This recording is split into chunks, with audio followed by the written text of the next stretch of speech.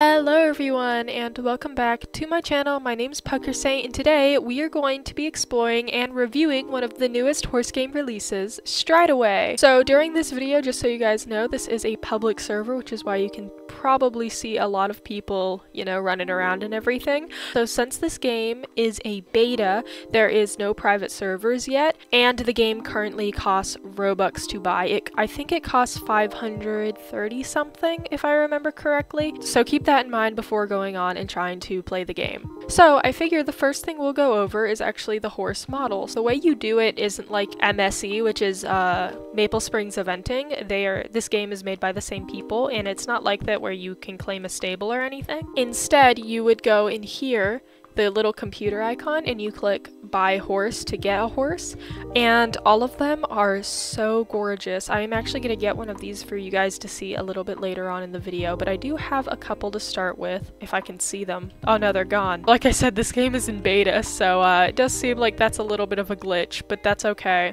So I currently have the flea bitten KWPN, the Tobiano version, and the Light Bay version. So I think all of the horses in this game are adorable. Currently my favorite, probably to be the Fleabitten to be honest. I love Fleabittens if you guys uh, didn't know. I absolutely love them. And just from this angle without any tack or anything, the horses are absolutely adorable in this game. That is definitely one of this game's strongest assets is the horse models. They they did such a fantastic job. Uh, obviously, because this is beta, the hair and the tail could use some work, but other than that, like the forelock looks pretty good right now as well. So to begin tacking up your horse and customizing them, you would come up here to this little like saddle icon.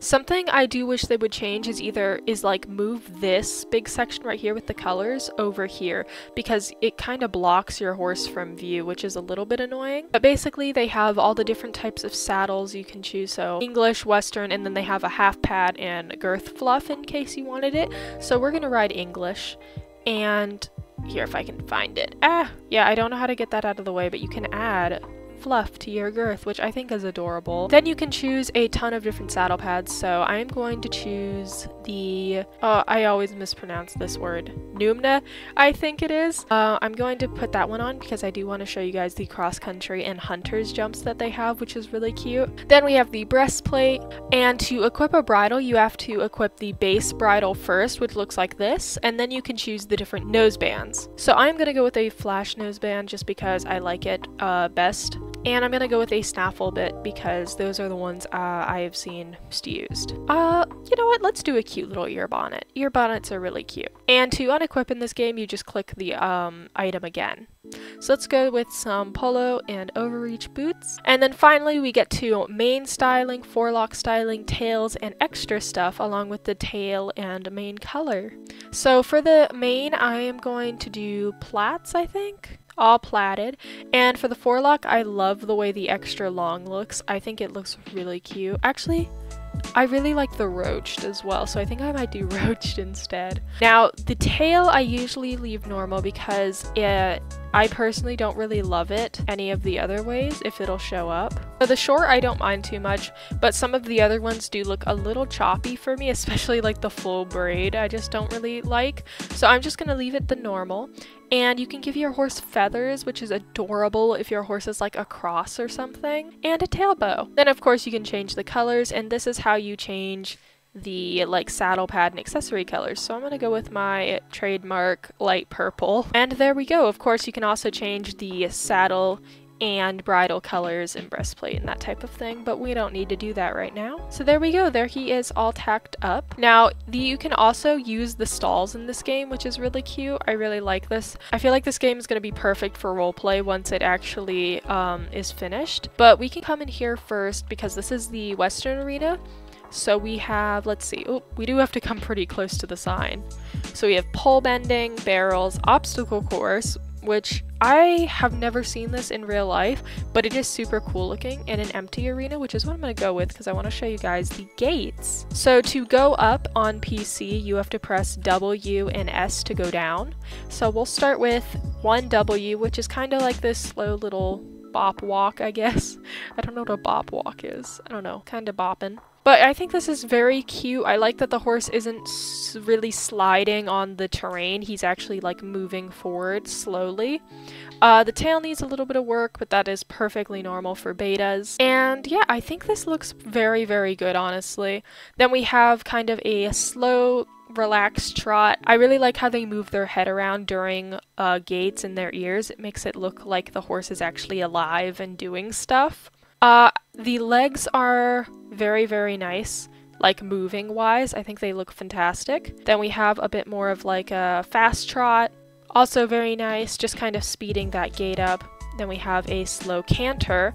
And this game is different from a lot of other games, I think, in the way that when you canter, you can actually like feel the bounce of the horse because the screen moves with the horse, which I really like. Going around, I think this looks very nice as well. Um, the only thing, also spinning needs a little bit of work, but that is fine, of course.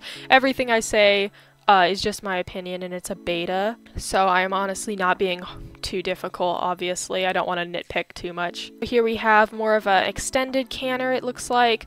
Uh, also very nice, I really like that they made it a point to bring the legs out more, which is nice looking. And finally, the gallop, which does look very nice, honestly. Uh, the only thing I see wrong with this one is that it's kind of like hitting the floor really hard, but that is perfectly alright. I did want to go in first person because I did want to show you guys first person in this game looks amazing.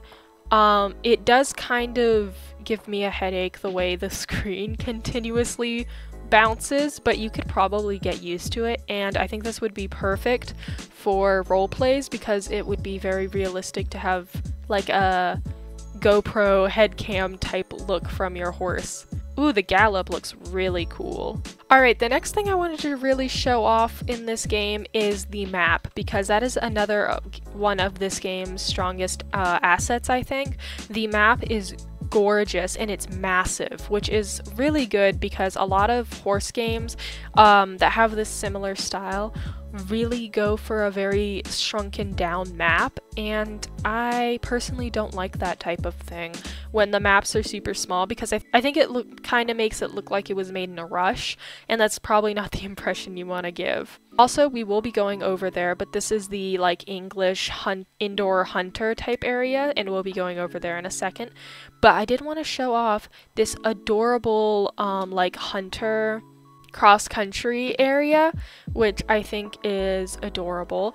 This, um, like circle, oh my gosh, I, brain fart moment, I totally know what this is called. Hee ho. Well, anyway, I think that's really cute. Swan jumps adorable. Where is that little like up log thing? Oh, over there. Another thing I really want to show off is this because this is a very underused jump in games and I think it's really cute. So here we go. You can like approach, you do your jump, and there you go. I think that's super cute. And there's like, I love how they didn't just reuse the same jumps over and over again.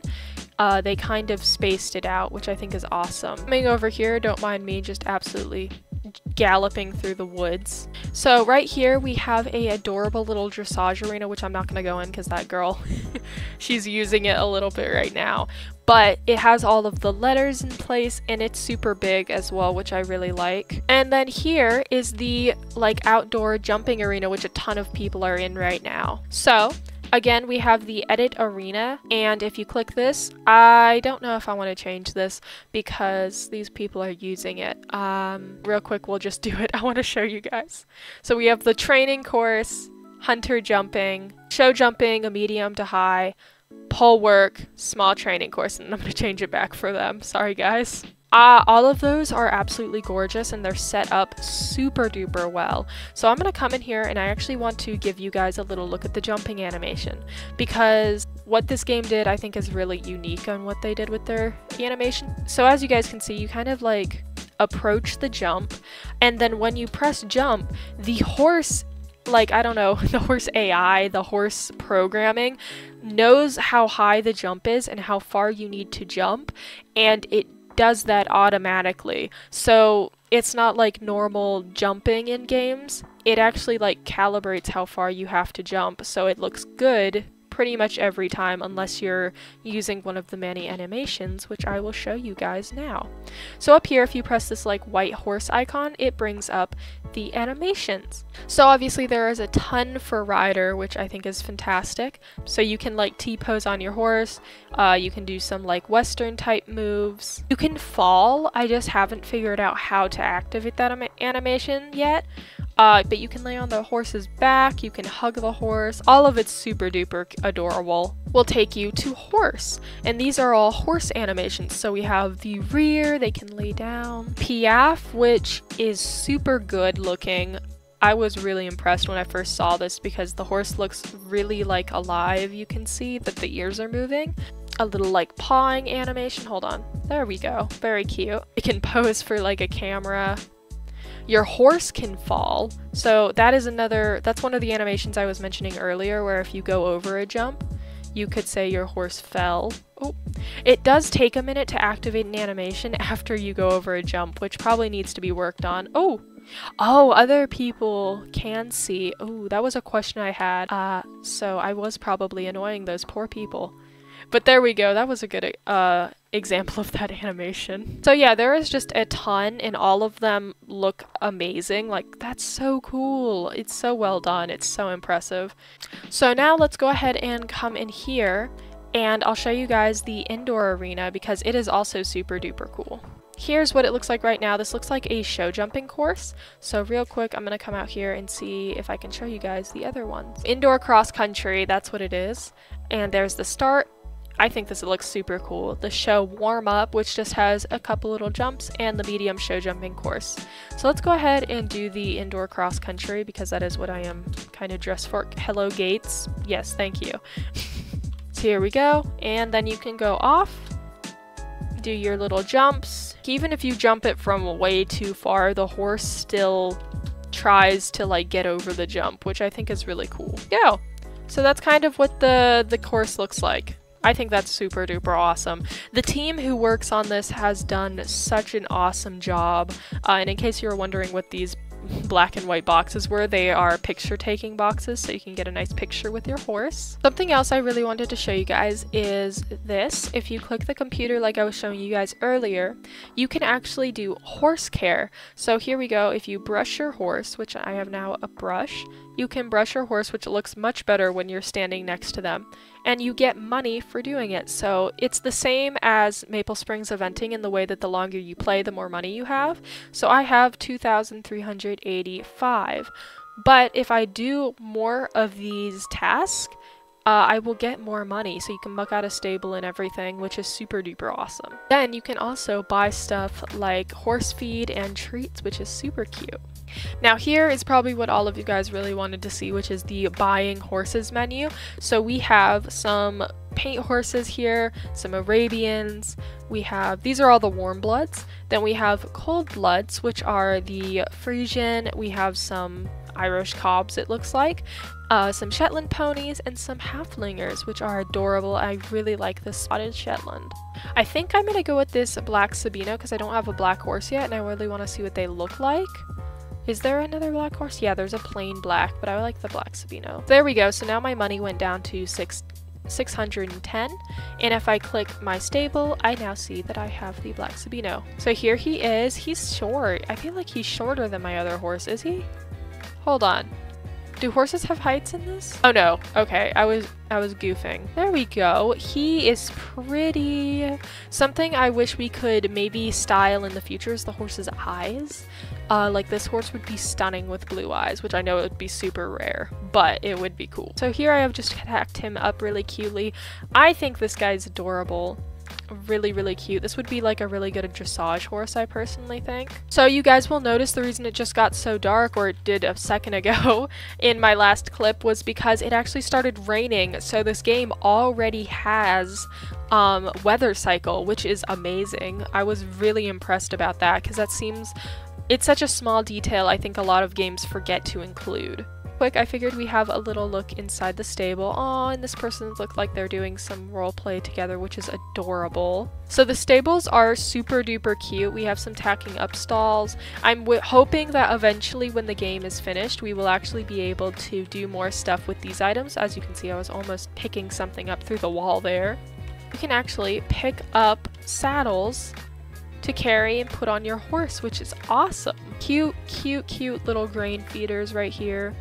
A little hallway. Probably gonna add something right there if I had to guess. Yeah, that is super duper cute. And in here is a station where you can warm up your horse. I believe it is called a walker. Oh no, someone's horse has decided not to walk. Basically, this is a device that is used by people to warm up their horses without actually having to ride them because the thing comes along the back of the horse, kind of having them continue to move and just walk along um, as they go, which is really cool. These are actually, they have their fly mask and blankets on, which is adorable. Super duper cute. They've both gone into like wild mode, I think. And here is a little round pen. And if we come way over here, there is a super cute little truck you could use for your role play with a cute little German Shepherd on it, which is cute. I don't know how many times I've said cute in this video, probably way too many, but this game like defines horse cute. It's very nice. So real quick before we start wrapping up, I did want to tell you guys that if you do really love this game, uh, and you would be interested in buying it, I personally would say that it is worth the 500 Robux. It is a ton, obviously. Real quick, I did want to show you guys at least one bay. So here's my Tobiano bay I have bought. Super duper cute as well. The shading in this game is top tier. I love it. But the developer has already said that as development goes on, the game will slowly lessen in Robux until it is free, so it'll be free at the end of development if you do want to wait. I will probably continue to make Strideway videos um, until it is finished. I would really love to keep doing that, so if you guys do want me to make more videos on this game, uh, feel free to leave a like and a comment, it would really motivate me. With that being said, I really hope you guys enjoyed this video, and I hope you guys have an amazing day or night, and I hope to see you guys really soon. Bye.